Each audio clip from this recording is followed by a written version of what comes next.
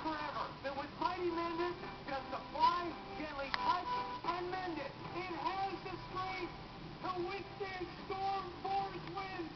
Amazing. Yes, yes, I wanted to know about this. Amazing. I gave it a C. And here's the thing, it's a fabric glue. And yeah. these are not new. Fabric glues have been around for a while. But my complaints are such, it's messy. So when you put it down here, it kind of gets everywhere. And if you if you mess it up, I did this one a few hours ago.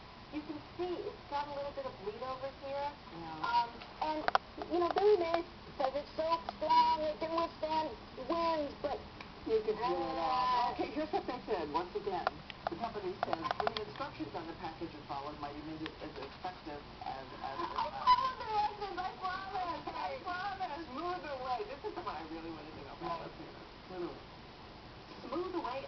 hair in moments and exfoliate at the same time. I don't have to shave. I don't have to shave ever. it's gone. That's pretty cool. It's smooth. It works so easy. So what does it do? What does it do? Well, here's the deal. It is basically a sandpaper for your leg hair. I tried this at home, Yeah. and I had a little control area that I used it on. It took forever. But, you know, that was my Did it big hurt? complaint. It didn't hurt. Um, I'll try it on your skin here. Uh-huh. Feel. Doesn't hurt, Doesn't right? hurt. No.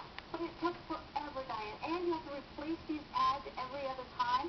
And they say it grows in a lot faster, but still, that's stubble right there. That's, you know, that's... what do you say? Yeah, you can say it. Chewbacca. Okay. I, I gave it. Okay, here's what they say. Despite the gray, the company feels the product instantly removes hair without the inconvenience that other methods like shaving would cause. Okay, final thing, the InStyler. InStyler. And thank you, Jenna. This is Robin's producer who's Yeah. here to help test it. The influencer clip is amazing. You should see what they promise. Whether your hair is completely curly, unthinkably thick, frighteningly frizzy, or lifelessly limp, the revolutionary rotating InStyler will straighten and style your hair faster and better than you ever dreamed possible. I gave it a B.